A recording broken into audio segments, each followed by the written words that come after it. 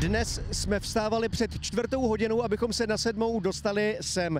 V tomto místě startuje první RZ letošního Dakaru 2020. Máme za sebou 190 km, závodníky čeká přes 400 km a celkem by měli najet přes 750 km. Jen pro informaci, právě teď je tady kolem 16 stupňů Celsia.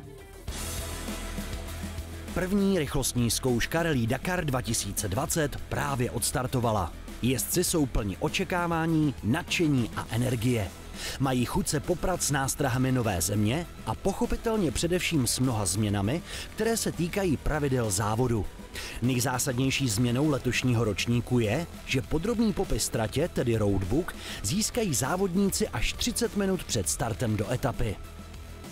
V Saudské Arábii se zřejmě řídí pravidlem, že nafta patří do kamen. 95% všech automobilů tady jezdí na benzín. No a my v naší flotile máme auta na naftu. Tady v Džidě jsme hledali asi hodinu čerpací stanici, kde je nafta. Ostatně organizátor na to myslel a vybavil nás tímhle seznamem sedmi čerpacích stanic, kde si můžeme na trase 8000 km natankovat naftu, tedy diesel. No a proto, když jsme ten diesel našli, tak tankujeme do všeho do čeho můžeme. Já to jdu dotočit.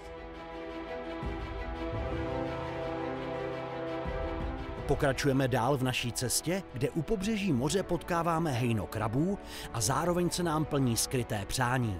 Vidět krále pouště Velblouda v celé své kráse.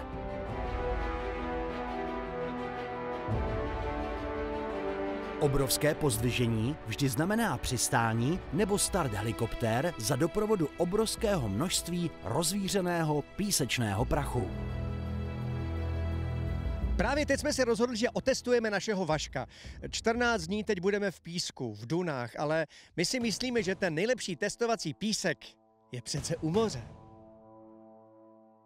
Testování probíhalo ve skvělé atmosféře, protože naše doprovodné vozidlo, kterému říkáme Václav, splnilo všechna naše očekávání. A my se nemůžeme dočkat, až ho vyzkoušíme v pořádných dunách. Ovšem celé naše testování vyvolalo bleskovou reakci u místních policejních složek. Policisté, kteří během pár minut dorazili na místo v terénních vozech, nás chtěli vykázat z pláže a následně předvést k výslechu na policejní stanici. Nepříjemná situace byla naštěstí vyřešena domluvou. V Jižní Americe se Dakar vyhříval na výsluní popularity. Tady v Saudské Arábii si své fanoušky teprve hledá. V minulých ročnících byli účastníci soutěže doslova zavaleni přízní fanoušků. Stovky, neli tisíce příznivců jste mohli potkat takřka na každém kroku. V Saudské Arábii tomu je bohužel zatím jinak. Ale věříme, že cestu k Dakaru si lidé najdou i v této části planety. V Saudské Arábii můžete běžně na ulici potkat takzvanou pojízdnou čajovnu. Vypadá si takhle. Staré konvice, rozdělený živý oheň a můžete si koupit jejich arabskou specialitu, arabský čaj. Karak, to je čaj, který je bez jakékoliv ingredience a adání, to je čaj s mlékem. No a my ho teď ochutnáme. Právě teď jsme se rozhodli, že uděláme konkurs na nového moderátora pořadu Dakar za oponou.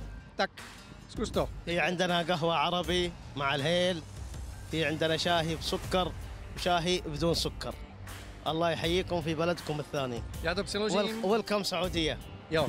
Vítejte v Saudské Arábii. Jsem rád, že jsem potkal tuhle partu skvělých českých závodníků. Zvláště Zdeňka tu mám rád, fandím všem a mějte se dobře. Tak nějak to asi říkal, že jo? Tak jak, jo. Takže to v pohodě.